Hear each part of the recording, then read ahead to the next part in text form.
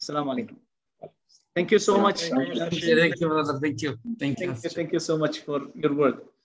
آه المتحدث آه القادم سيكون آه الاستاذ والسيد القدير كمال الدوسري تفضل أستاذ كمال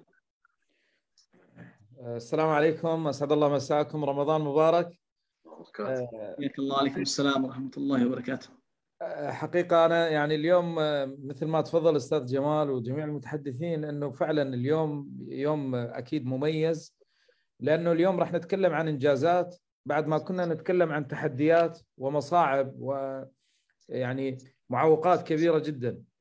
وهذا يخلينا نستشرف الأمل أيضا أمام الملحمة الجديدة اللي يقودها الآن الاستاذنا الكبير ومدربنا الرائع وصاحب البذرة في ديكسن العراق الأستاذ المهندس محمود المصري أسأل الله أن يبارك له. يعني آه هذا يخلينا نستشرف أمل كبير أنه دائما اشتد يا أزمة تنفرجي. يعني كلما ضاقت فرجت أو اتسعت كما يقال. آه حقيقة آه أريد أتكلم بشيء بسيط لأنه الوقت أكيد ضيق علينا. وأريد الأخوة أيضا أسمع مداخلاتهم. في وقت ما اضطررنا أن نعمل كليدر أو كقادة في السوق ويتذكر أخواني كلهم شركائي الأعزاء وكنت أتمنى وجودهم لكن صعب انه كنا نجتمع في وقت واحد ولعل الأيام القادمة تسمعون منهم أيضا. كان في شغلتين هي أعتقد كل عضو في وقتها كنا نقول منو الأفضل أو منو الأقوى في دعم نجاح السوق؟ هل الإدارة لو القادة؟ وهذا السؤال دائما كان يتناول الكثير من الناس في بداية هذه التجربة أو قبل أن تنضج. فبالنهاية يعني خلاص ما في يعني ما في نجاح بدون وجود إدارة حقيقية. في شغلتين إذا ما توفرت ما في business. المنتج أنا متأكد منتج قوي. اليوم DXN منتجاتها حتى لو ما سوينا إحنا marketing قادة ممكن تقتنع بها الناس وتشتريها. لكن هل راح توفر فرصة عمل؟ هل راح توفر نمو وصناعة الإنسان مثل ما تفضل أستاذ رائد وذكر؟ لا طبعا.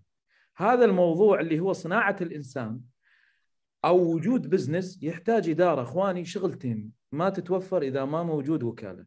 لا المنتج ولا البونص. هذا هذا عشناه مو سوالف. أنا أتكلم عن تجربة.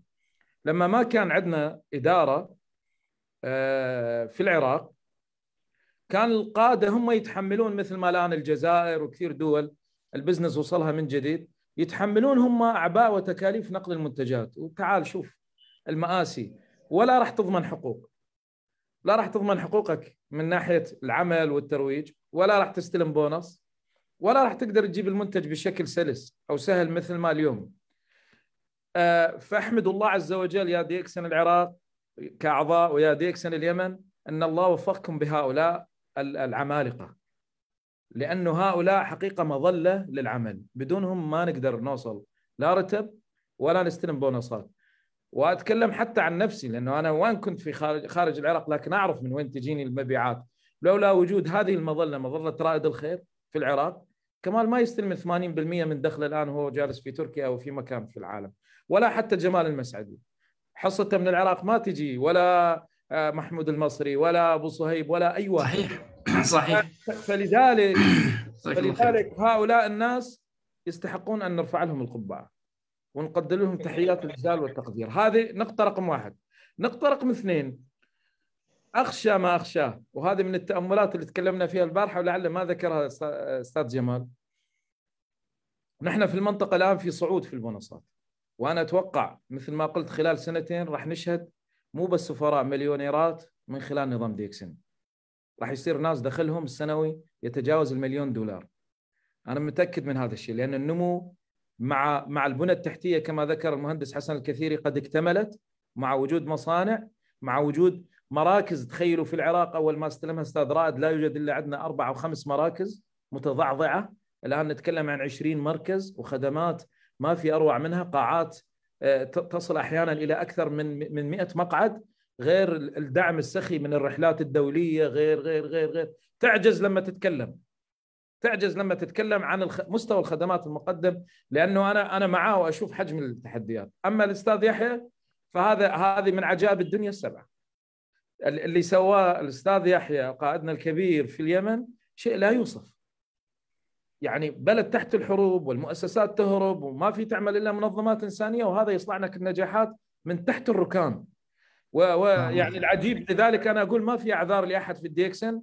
إذا كان ديكسن اليمن تطلع أكثر ناس كل سنة للرحلة الدولية من بين كل دول الشرق الأوسط والدول اللي تتمتع باستقرار سياسي ورخاء اقتصادي وأمان وهي عاجزة أن توصل وتنافس هؤلاء الجبال في اليمن. الناس الرجال حقيقة. وأنا أعرف اليمن عن قرب وعشت في هذا البلد يعني أيام وشهور وأعرفهم ككرم وكرجولة وكمبادئ وأصحاب إصرار وعزيمة لا تقهر. يعني وهم مادة العرب وأصل العرب فيكفيهم فخرا. وهم أصل أيضا شبكة ديكسن العربية ويستحقون هذا يعني حقيقة مو مو يعني تشريفا وإنما بجدارة كاستحقاق لهم. هم قادتنا وهم اللي بدأوا العمل. فأقول العجيب إن أكبر التحديات جاءت من يعني عفوا أكبر الإنجازات جاءت من دول تعاني أكبر التحديات وهي هذه البشارة لليمن ولبنان والجزائر وسوريا وكل الدول الآن اللي تنتظر دورها أن أن تصطف معنا إن شاء الله في هذه المنافسة الشريفة إن شاء الله كلنا نوصل إلى رقم واحد بإذن الله تعالى.